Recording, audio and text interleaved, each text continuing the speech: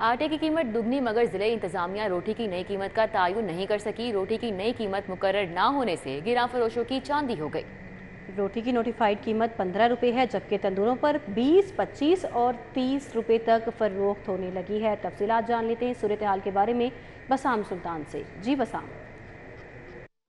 जी, बिल्कुल, शहर के अंदर जो नान जो नान रोटी की कीमत है, उसके वो बिल्कुल जो है वो काबू से बाहर होती जा रही है। डीसी ऑफ़िस की जानब से जो है वो इस नई कीमत को जो है वो नोटिफाई किया जाना था, मगर अब तक तो अब तक जो है वो इसको नोटिफाई नहीं किया जा सका। जो मुतहदा नान रोटी एसोसिएशन है, उसकी जानब से डी सी ऑफ़िस को जो दरख्वास्त दी हुई है, उसको दो माह से ज़्यादा ज़्यादा का अरसा जो है वो बीत गया है। जो मुतहदा नान रोटी एसोसिएशन ने दरख्वास्त दी थी, उसके अंदर वाज तौर पर जो है वो बताया गया था कि आटे की कीमत में जो है वो अस्सी फ़ीसद तक जो है वो इजाफा हुआ है, जिसके पेश नज़र जो रोटी की नोटिफाइड कीमत है, उसको पंद्रह से बढ़ाकर जो है वो पच्चीस रुपये किया जाए।